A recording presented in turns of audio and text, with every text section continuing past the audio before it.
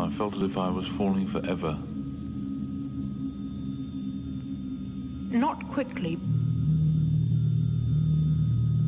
but I am definitely going down, down, down, and I know that nothing, nothing can stop me. I try sometimes to think in myself, oh, this is lovely, you should be enjoying this, but I'm so panic stricken.